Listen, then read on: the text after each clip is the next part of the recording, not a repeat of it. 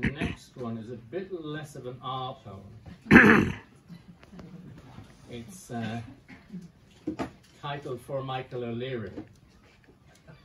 And it was written, it began to be written in the queue at a Ryanair help desk in Shannon Airport to be told what, what was happening with a cancelled flight in December 2019 when I was attempting to go to the United Kingdom to participate in a certain election campaign.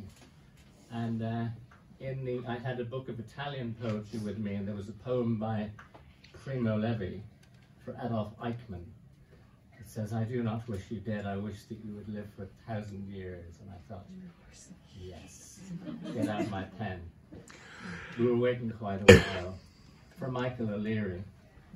You were everywhere, and when it matters, nowhere, O Lord of this cancelled flight. All across the continent, the bodies pile up at Ryanair help desks, while you are home, talking to your horses, who are grateful they at least will never have to travel Ryanair. I don't want you taken to the termination chamber, some here are building for you, or pulled apart before a jeering crowd by the four of your own racehorses with the most unresolved anger management issues. May you live to be a thousand years old and spend your remaining 942 years sweating in a queue to speak to a red-faced girl at a Ryanair help desk. Let your every night be Sunday and it always be December.